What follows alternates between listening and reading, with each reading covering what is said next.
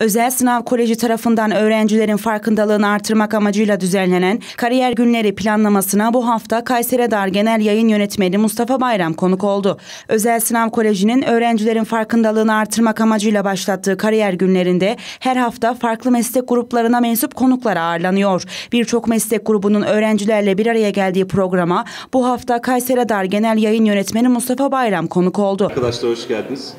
Ee, ben Mustafa Bayram, ee, hepinizin bildiği e, hocalarımız da daha önce söylemiştir. Ee, Kayseri Radar markasının şu an itibariyle sahibi ve yöneticisiyim. Bugün size biraz bizim hikayelerimizden bahsedeceğiz. Birazcık sosyal medyadan, birazcık yenilikçi yaklaşımlardan, birazcık inovasyondan, birazcık gelecekten bahsetmeye çalışacağım. Sorular ve cevaplar konusunda Cafer Hocam affınıza sınırım, serbestsiniz. İstediğiniz kadar sorabilirsiniz. Her türlü soruya da ben cevap vermeye hazırım. Çünkü sizin zihinlerinizdeki e, enerjiyi seviyoruz. E, sizin kadar genç olmasa da yaklaşık 22 kişilik bir ekiple çalışıyoruz. Bu ekibin tamamı da genç arkadaşlardan oluşuyor. Bir tanesi burada kardeşim.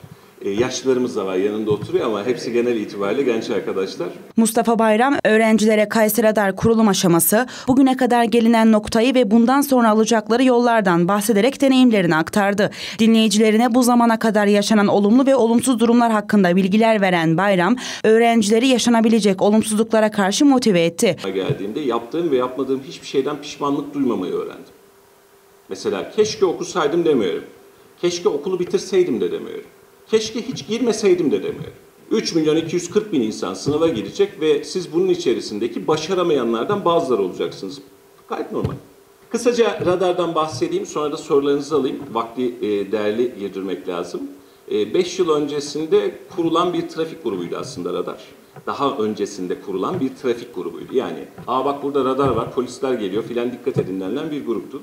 Biz birazcık inovatif baktık işe e, reklamcılık ve gazetecilik olunca işin temelinde dedik ki biz bu arkadaşlarla görüşelim. Görüştük. Sonra dedik ki biz bunu alalım. Alalım. Yani burada bir malzeme var. Başladığımızda Instagram'da 10 bin takipçimiz vardı ve böyle bir etkimiz de yoktu.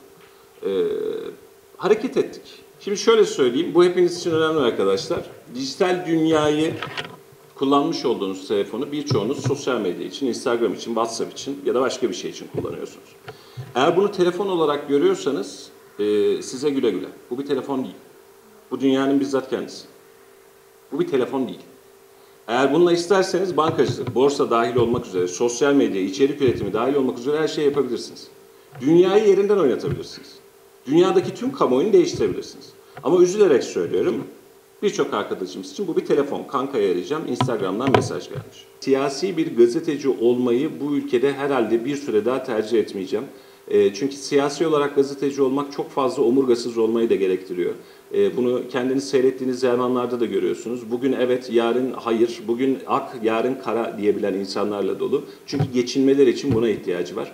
E, bu anlamda ülke genelinde bir şey düşünüyoruz ama radarda yaptığımız politikayı önümüzdeki 5 yıl içerisinde bölge ve ülkeye yaymak gibi bir niyetimiz var. Doğru haberi ülkeye yaymak adına bir stratejimiz var ama e, zaman isteyen bir iş. Belki de siz üniversitedeyken bir söyleşiye çağırırlarsa inşallah o zaman bir hadada biz bunları yaptık diye anlatmak kısmet olur.